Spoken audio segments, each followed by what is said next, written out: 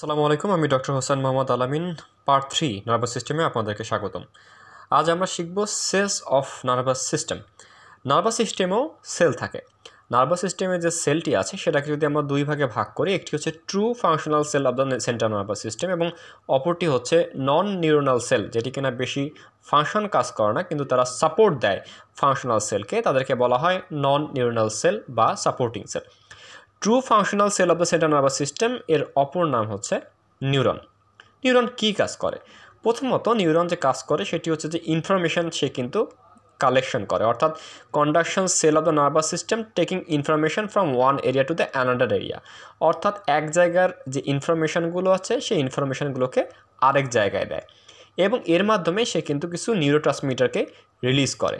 একই সাথে যে অ্যাকশন পটেনশিয়ালটা আছে, সে সেটাকে প্রোপাগেশন করে বা বৃদ্ধি করে। সহজ কথা সেন্ট্রাল নার্ভাস সিস্টেমের ফাংশনালি অ্যাক্টিভ একটি সেল হচ্ছে নিউরন। এই একটি সেলকে তার সাথে কাজ করার জন্য আরেকটি সেল থাকে বা আরেক গুচ্ছ সেল থাকে, এদেরকে বলা হয় সাপোর্টিং বা নিউরোনাল সেল এদেরকে গ্লিয়াল বা নিউরোগ্লিয়াল সেল নামেও বলা হয়। They act as a connective tissue for the neuron এখন কিছু জিনিস আমরা বুঝতে পারি, একটি নিউরনের কিন্তু যেটা থাকে সেটি হচ্ছে সেল বডি এবং একজন আমরা দেখতে পাই।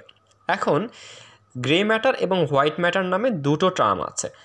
Collection of the cell body, অর্থাৎ সেল বডির যে কালেকশন সেন্ট্রাল নার্ভাস সিস্টেমে আছে, তাকে বলা হয় গ্রে ম্যাটার। একে কেন গ্রে ম্যাটার বলা হয়? কারণ যেহেতু এটি সেল বডির কালেকশন, তার মানে সেলের ভিতরে ডিএনএ আছে, আরএনএ আছে, কিছু darker colour of the brain substances আছে, সুতরাং তাকে বলা হয় grey matter of the neuron. দুই নম্বর হচ্ছে হোয়াইট ম্যাটার। হোয়াইট ম্যাটারটা হচ্ছে যে একজন যেগুলো আছে, যখন অনেকগুলো একজন, অর্থাৎ টেইল অফ দ্য নিউরন, অনেকগুলো একজন যখন একসাথে একত্রিত হয়, তারা কিন্তু কি করে? একগুচ্ছ সেন্ট্রাল নার্ভাস সিস্টেমে একটা ম্যাটার তৈরি করে, তাকে বলা হয় হোয়াইট ম্যাটার। কেন তাদেরকে হোয়াইট ম্যাটার বলা হয়? কারণ একজনে আমরা জানি কি থাকে? মায়োলিন শিট থাকে। এই মায়োলিন শিটের কালার হচ্ছে হোয়াইট, সুতরাং তাকে বলা হয় হোয়াইট ম্যাটার। এরপরে দুটো জিনিস আমরা জানতে চাই, একটি হচ্ছে কর্টেক্স একটি হচ্ছে নিউক্লিওলাই মনে রাখা দরকার সেরেব্রাল হেমিস্পিয়ারে যখন গ্রে ম্যাটারটি থাকে, অর্থাৎ collection of the cell body যখন সেরেব্রাল হেমিস্পিয়ারে থাকে, সেটিকে বলা হয় সেরেব্রাল কর্টেক্স যখন সেরেবেলামে এই গ্রে ম্যাটারের কালেকশনগুলো থাকে, সেটাকে বলা হয় সেরেবেলার কর্টেক্স একই সাথে যখন এই যে কিছু গ্রে ম্যাটার আছে এই গ্রে ম্যাটারের চারদিকে যখন হোয়াইট ম্যাটারগুলো থাকে, অর্থাৎ সেল বডির চারদিকে একজন থাকে, সেই পার্টটিকে বলা হয় নিউক্লিওলাই বলে রাখা ভালো, এই নিউক্লিওলাই কিন্তু সেল অফ নিউক্লিয়াসের সেলের মতো কিন্তু নিউক্লিয়াসের যে সেল সেলের যে নিউক্লিয়াস আছে, সেটার সাথে কিন্তু এই নিউক্লিয়াইটা একদমই আলাদা। আবার দেখা যায় বেস অফ দ্য ব্রেনে যদি গ্রে ম্যাটারের চারদিকে হোয়াইট ম্যাটার থাকে, এই নিউক্লিয়াইকে আমি বলি বা আমরা বলি ব্যাজাল নিউক্লিওলাই একই সাথে আমরা third nerve seven nerve twelve nerve nuclear নাম শুনেছি। থার্ড নার্ভের একজন এবং এর সাথে যদি গ্রে ম্যাটারের একটা কানেকশন থাকে, সহজ কথায় যদি গ্রে ম্যাটারের চারদিকে থার্ড নার্ভের একজন ঘিরে রাখে, সেটিকে বলা হয় থার্ড নার্ভ নিউক্লিওলাই একইভাবে সেভেন নার্ভের একজন যদি গ্রে ম্যাটারকে ঘিরে রাখে, সেটাকে বলা হয় সেভেন নার্ভ নিউক্লিওলাই এবং টুয়েলভ নার্ভ একজন যখন গ্রে ম্যাটারকে ঘিরে রাখে, সেটাকে বলা হয় টুয়েলভ নার্ভ নিউক্লিওলাই এবার আসা যাক হোয়াইট ম্যাটার সম্পর্কে। যখন white matter ফাইবারগুলো ups and down উপরে এবং নিচের দিকে যাওয়া আসা করে, সে তাকে বলা হয় ট্র্যাক যেটি আপওয়ার্ডে যায়, তাকে বলা হয় অ্যাসেন্ডিং ট্র্যাক যে ডাউনওয়ার্ডে আসে, তাকে বলা হয় ডিসেন্ডিং ট্র্যাক এরপরে কিছু ফাইবার আছে। যখন হোয়াইট ম্যাটারগুলো, অর্থাৎ একজন কানেকশন করে from the right to left or left to right মানে ক্রিসকস ম্যানারে। অর্থাৎ রাইটের সাথে লেফটে একটা কানেকশন হবে, লেফটের সাথে একটা রাইটের কানেকশন হবে। এই যে হোয়াইট ম্যাটারগুলো ক্রিসকস ম্যানারে যে কানেকশন করে, এটিকে বলা হয় কমিশনাল ফাইবার।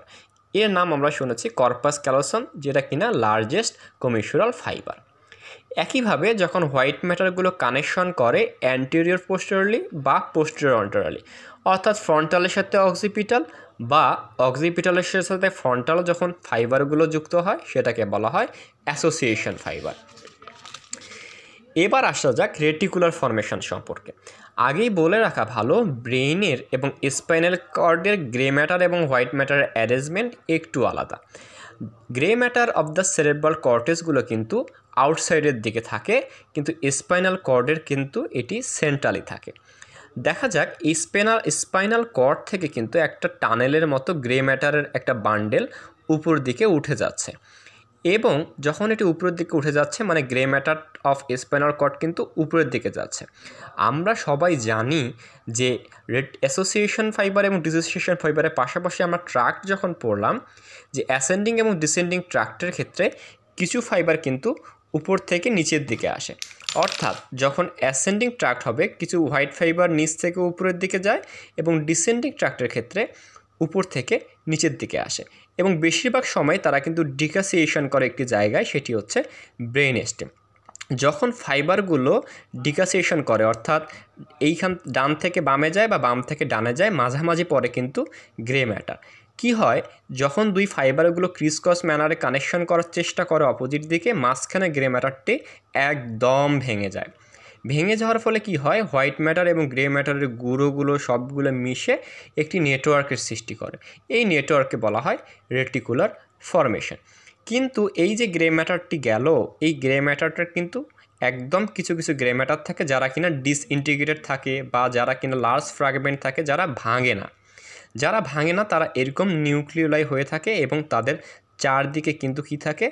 হোয়াইট ম্যাটার থাকে। আমরা আগেই বলেছি গ্রে ম্যাটার চারদিকে যখন হোয়াইট ম্যাটার এভাবে থাকবে, তাকে আমরা বলি নিউক্লিওলাই যেহেতু এটি ব্রেন স্টেমে ঘটছে এবং রেটিকুলার ফর্মেশন এখানে ফর্ম হচ্ছে, তার মানে এর নাম হচ্ছে রেটিকুলার ফর্মেশন নিউক্লিওলাই একদম শেষে আমরা একটা জিনিস নিয়ে কনফিউশন একদমই রাখব না। What is nerve what is white matter what is tract collection of the axon, অর্থাৎ একজনের বান্ডলগুলো যখন সেন্ট্রাল নার্ভাস সিস্টেমের আউটসাইডে থাকবে, অর্থাৎ পেরিফার নার্ভাস সিস্টেমে থাকবে, সেটাকে বলব নার্ভ এটি কিন্তু ইনফরমেশন ক্যাবল হিসেবে কাজ করে, যেমন সোয়ান সেল। আবার যখন collection of the axon within the central nervous system তাকে আমরা বলব হোয়াইট ম্যাটার, এটিও কিন্তু ইনফরমেশন ক্যাবল হিসেবে কাজ করে।